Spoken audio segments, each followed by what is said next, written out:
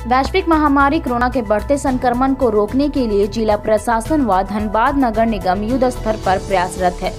सख्त निर्देशों के साथ जारी लॉकडाउन में जहाँ जिला प्रशासन के द्वारा ज़िले भर में जागरूकता अभियान चलाने के साथ चिकित्सा व्यवस्था को शीघ्रता से किया जा रहा है, वहीं दूसरी ओर आपदा प्रबंधन पदाधिकारी के दिशा निर्देश पर धनबाद नगर निगम के द्वारा अपने अधिकृत क्षेत्रों में साफ़ सफ़ाई व सैनिटाइजेशन कार्य चलाया जा रहा है। ताकि संक्रमण के फैलाव को रोका जा सके। धनबाद नगर निगम ब्रांड एम्बेसडर अनीता मुजमदार के नेतृत्व में कतरास निगम क्षेत्र में सैनिटाइज कराया गया। कतरास निगम क्षेत्र ने पचगड़ी बाज़ार, थाना चौक, कतरासगढ़ सहित अन्य वार्ड क्षेत्रों में सैनिटाइज कराया गया।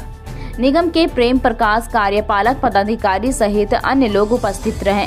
वहीं निगम के ब्रांड एम्बेसडर अनीता मुजमदार ने कहा कि सभी क्षेत्रों में महामारी से बचाव तथा लोगों की जागरूकता को लेकर सैनिटाइजेशन कार्य करवाया जा रहा है।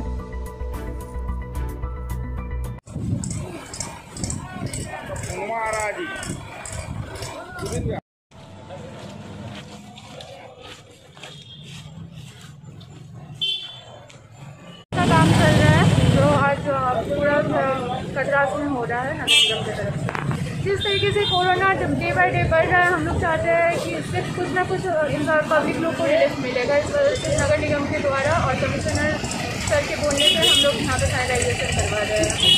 ये अभियान जब तक जारी रहेगा, तब तक कोरोना से हम लोग मुक्त नहीं होते।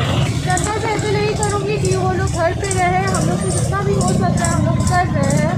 और वो लोग जैसे हम लोग को थोड़ा सपोर्ट करें, हर एक जैसे बहुत सारे पब्लिक लोग से बात आ रहा है कि हमारे यहाँ पे सैनिटाइजेशन नहीं हो रहा है। तो हर जगह पे सैनिटाइजेशन होगा, लेकिन हम लोग को थोड़ा पैसा रखना पड़ेगा इसके लिए, क्योंकि हम